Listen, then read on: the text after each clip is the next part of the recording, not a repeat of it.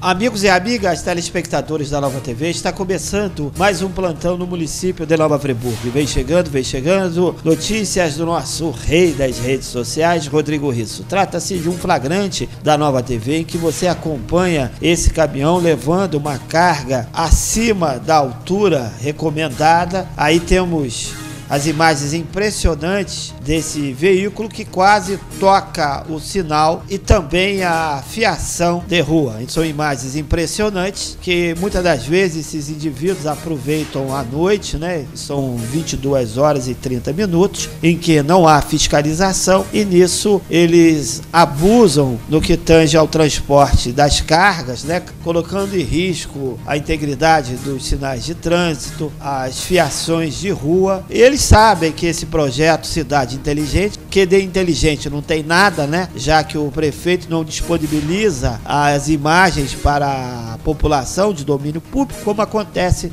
na 7 Rio do Rio de Janeiro, em que a população pode fiscalizar. Então o indivíduo sabe que está impune, viola as regras de trânsito e nada acontece. Quem sofre é você, sou eu, que quando esses veículos rompem os cabos de internet, de TV por assinatura de telefonia. Quem fica com dano, com prejuízo, somos todos nós, né? Infelizmente, essa é a realidade. Esse flagrante da nova TV mostra que esses motoristas aproveitam da omissão, da negligência de nossos administradores para cometer as suas infrações impune, né? Culmina em sinais de trânsito destruído, como já disse, nós ficamos sem internet, sem TV a cabo, sem telefonia. É uma bagunça só. Olha, telespectador, quase que derruba o sinal. Ao flagrante da nova TV.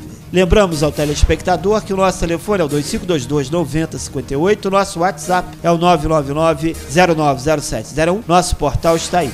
Basta você acessar.